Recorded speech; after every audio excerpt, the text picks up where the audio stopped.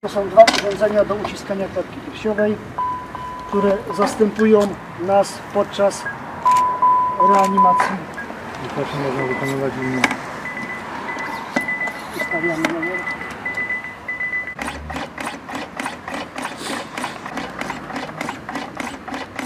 E, Szanowni Państwo, nazywam się Marcin Derucki, jestem radnym Rady Miejskiej Turku, a są wraz ze mną ratownicy medyczni zrzeszeni w związku zawodowym działającym przy e, SPZOS w Turku. E, To właśnie e, reprezentanci związków zawodowych, pan Wiktor Pławiński oraz pan Marek Derucki zgłosili się do mnie o pomoc w sprawie, w której tutaj się spotykamy a właściwie zaraz, za kilka chwil złożymy dwie skargi na dyrektora SPZOS w Turku, pana Krzysztofa Sobczaka. Jednak zanim przejdziemy do, e, zanim przejdziemy do omawiania tych dwóch skarg, chciałbym przypomnieć sytuację z początku epidemii e, koronawirusa e, COVID-19 w Turku, epidemii w powiecie tureckim. Wtedy to za sprawą Kacpra Drzewieckiego zorganizowano zbiórkę pieniędzy na portalu zrzutka.pl i te pieniądze były zbierane na sprzęt dla ratowników medycznych, który pozwoliłby ratownikom medycznym pracującym w Turku e, w sposób bezpieczny e, ratować, udzielać pierwszej pomocy e, medycznej osobom podejrzanym lub chorym na COVID-19.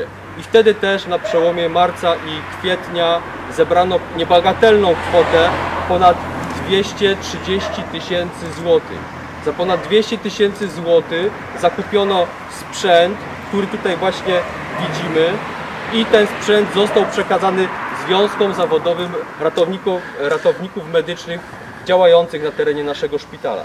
Ale żeby ten sprzęt mógł być wykorzystywany, musi on najpierw trafić oficjalnie do szpitala. E, Problem polega na tym, że dyrektor szpitala, e, pan Krzysztof Sobczak, nie chce przyjąć tego sprzętu na warunkach, na zasadach właśnie określonych przez, e, e, ustalonych przez ratowników medycznych. E, A jakie to są zasady? Bo to nie jest nic nadzwyczajnego. Jakie to są zasady? Opowie nam przewodniczący związków pan Wiktor Pławiński. Dzień dobry, witam serdecznie. Daliśmy propozycję dyrektorowi użyczenia sprzętu za darmo z możliwością, e, żeby ten sprzęt był na czas nieoznaczony.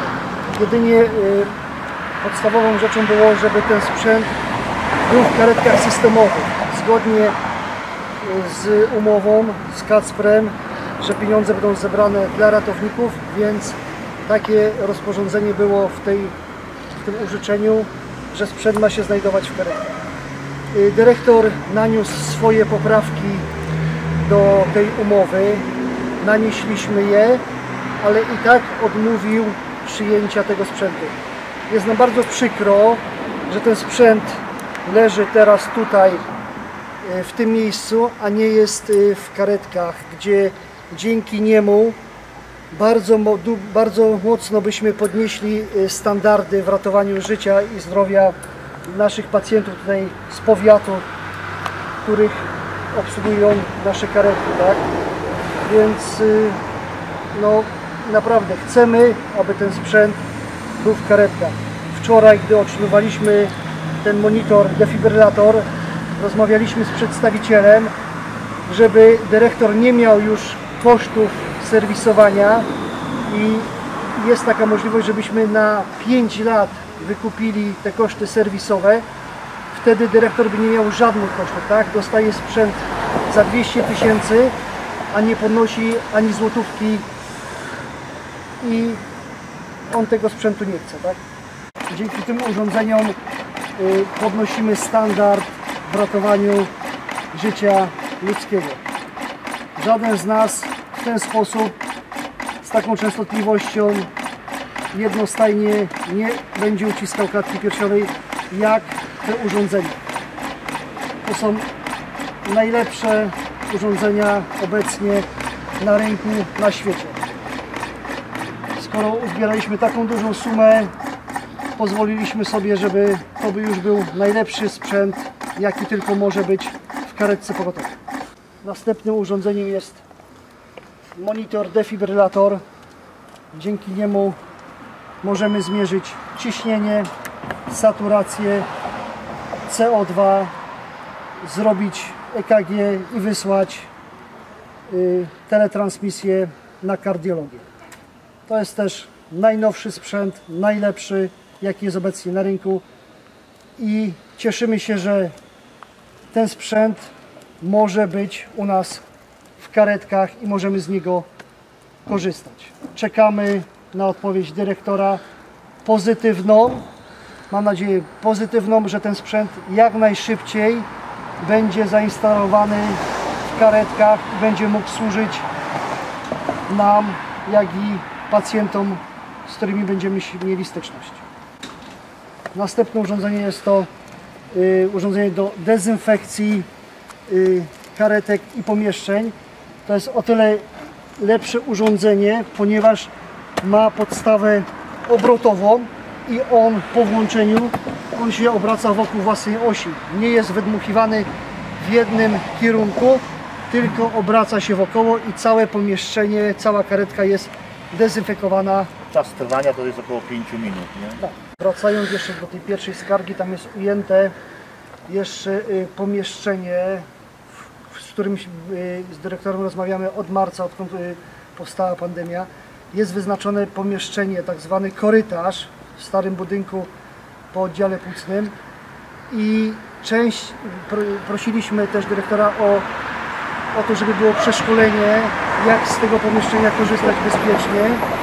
Do dnia dzisiejszego tego szkolenia nie było. Y, Część ratowników tego pomieszczenia jeszcze nie widziało, nie było tam nigdy, więc może za Państwa pośrednictwem dyrektor y, pokaże Wam to pomieszczenie i dzięki temu może inni ratownicy zobaczą w mediach, jak to pomieszczenie wygląda i jak powinni się bezpiecznie y, rozbierać, dezynfekować po y, wizycie Pacjenta z pacjentów z podejrzeniem z COVID, tak? Rozumiem, że to jest pomieszczenie przeznaczone niby do Proszę Państwa, powinno być wydzielone tak? część brudna, część czysta, Aha. e, czego nie ma, e, jest tylko kosz na e, skażoną odzież, którą zakładamy wcześniej przed e, wizytą takiego pacjenta z podejrzeniem. E, Nie ma.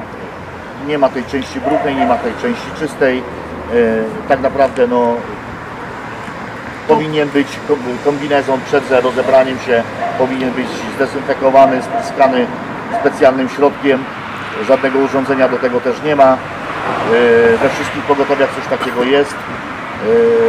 Najlepszym rozwiązaniem to jest centralizowanie, tak jak jest to na przykład w Łodzi, że wszystkie yy, pacj- wszyscy pacjenci, którzy zjeżdżają się z podejrzeniem COVID-u do dwóch szpitali yy, w Łodzi, przyjeżdżają do wojewódzkiej stacji, tam jest pomieszczenie wydzielone, jest strefa brudna, strefa czysta, jest pracownik, który to robi, yy, pomaga się rozbierać, czekamy tam po dezynfekcji, żeby, że- żeby później to, ten płyn już zaczął działać, to jest tam około pół godziny, dopiero możemy odjechać później yy, już po takiej dezynfekcji. U nas tego nie ma, nie ma żadnych yy, standardów yy, co do dezynfekcji w tych pomieszczeniach i, i dezynfekcji samego siebie. Tym bardziej wczorajszy komunikat sanepiduje, że na naszym powiecie już jest ponad 200 osób y, zarażonych, tak? Więc my możemy mieć y, prawdopodobnie wizytę do takiej osoby, więc y, zależy nam na tym, żebyśmy my byli bezpieczni, jak i reszta y, naszych mieszkańców całego powiatu, tak?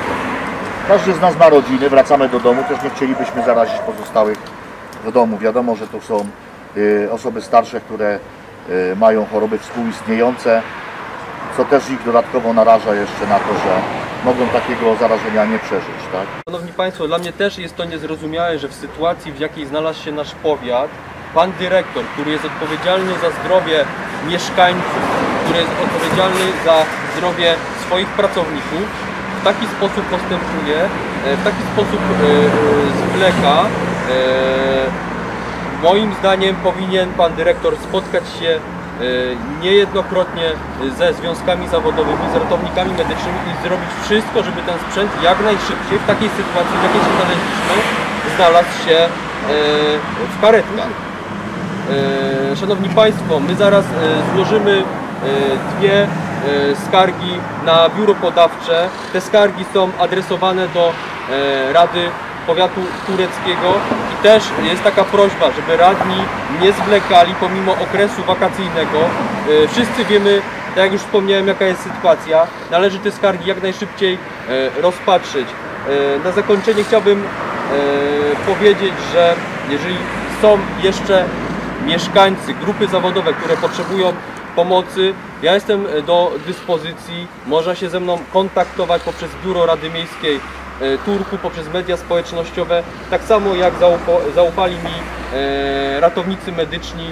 Ja jestem do Państwa dyspozycji.